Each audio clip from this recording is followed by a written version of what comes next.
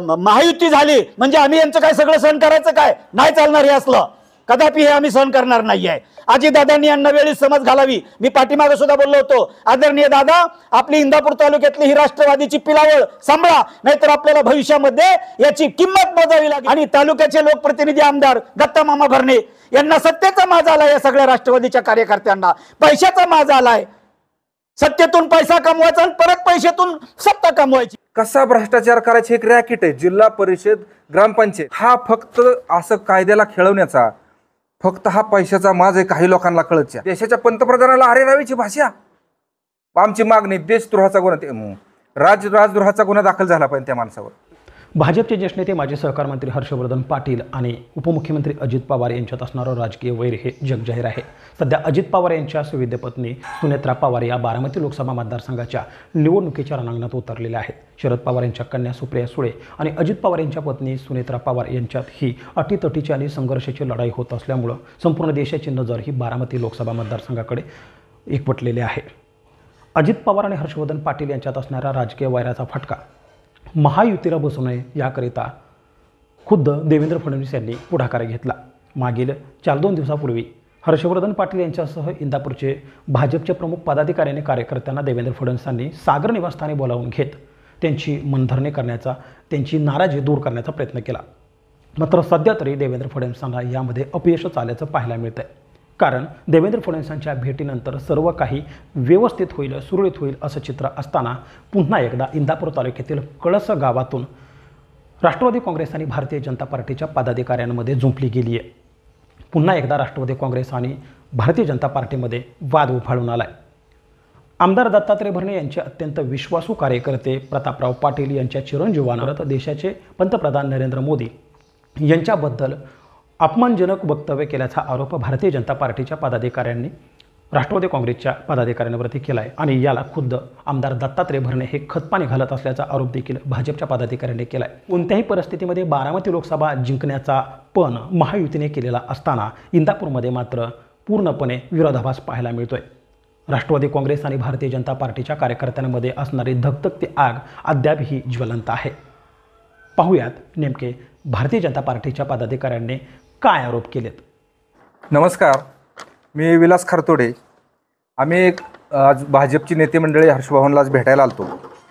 येण्याचं कारण असं कळसमध्ये आम्ही गाव तलावासाठी पाणी सोडण्यासाठी जनतेसमोर एक तलावामध्ये पाणी भरलं आणि एका तलावामध्ये भरलं नाही. असं आम्ही पत्रकारांसमोर मांडल्यानंतर संध्याकाळी आम्हाला जीव मारण्याची धमकी देण्यात आली. त्या संदर्भात आम्ही एन सीसुद्धा दाखल केली. म्हणजे हे लोकशाहीसमोर आम्ही मांडायचं नाही का?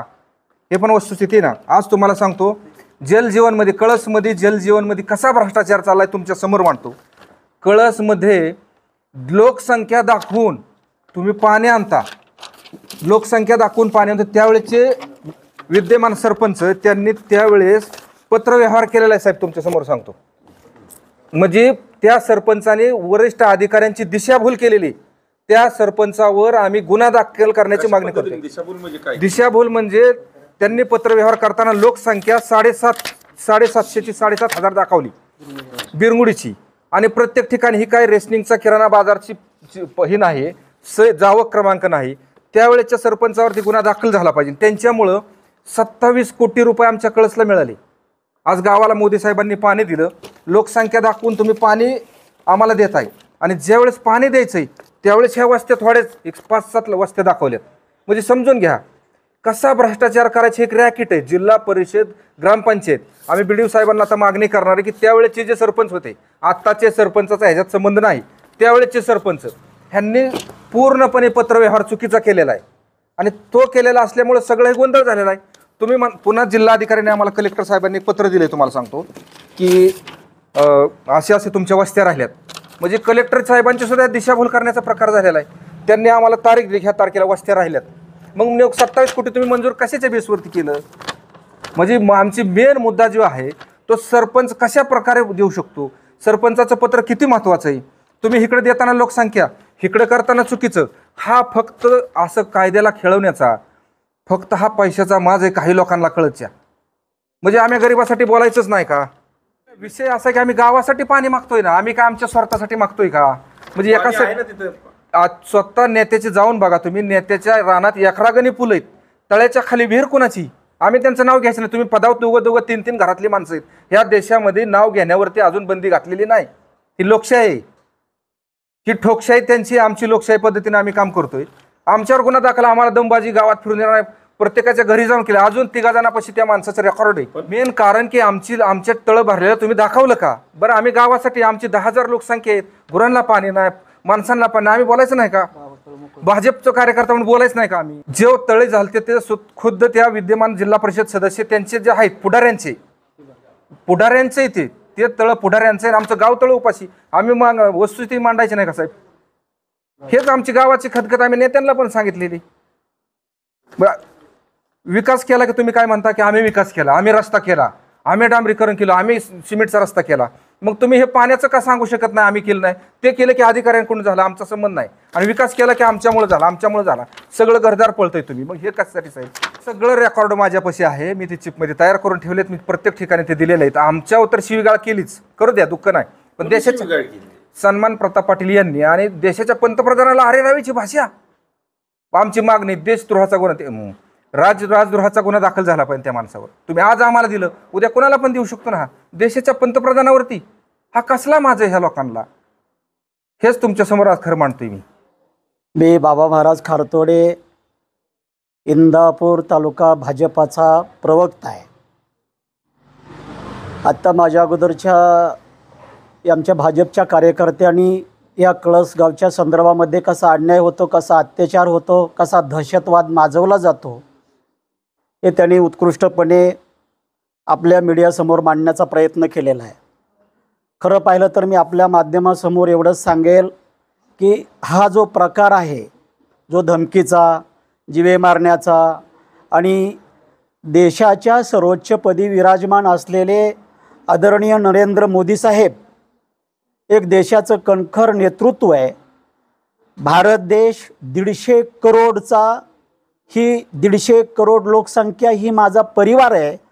असे म्हणणारे आदरणीय नरेंद्र मोदी साहेब यांच्यावरती अपमानकारक शब्द बोलून त्यांचा अवमान केल्याबद्दल मी ती सदर व्यक्तीचा निषेध करतो जाहीर निषेध करतो.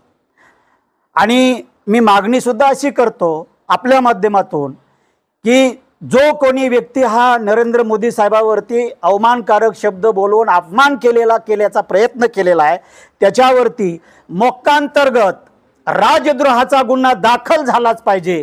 ही माझी या आपल्या माध्यमातून मागणी आहे. आदरणीय इंदापूर तालुक्याचं नेतृत्व आदरणीय हर्षवर्धनजी पाटील साहेब आमचे नेते राज्याचे डी सी एम साहेब आदरणीय फडणवीस साहेब बावनकुळे साहेब आणि राष्ट्रीय नेते आदरणीय देवेंद्रजी आणि शहासाहेब नड्डा साहेब यांच्या नेतृत्वाखाली आम्ही या तालुक्यामध्ये परिसरामध्ये कामकाज करत असताना हा राष्ट्रवादीच्या कार्यकर्त्या कार्यकर्त्यांकडून ही पहिलीच वेळ नाही की दमबाजी करणं दहशत निर्माण करणं.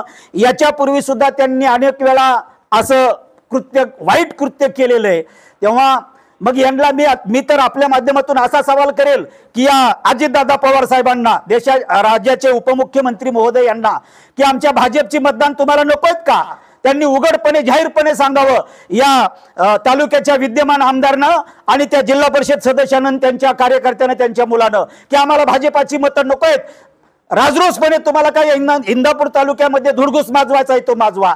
अरे कुठलीही लोकशाही पद्धत काढली तुम्ही.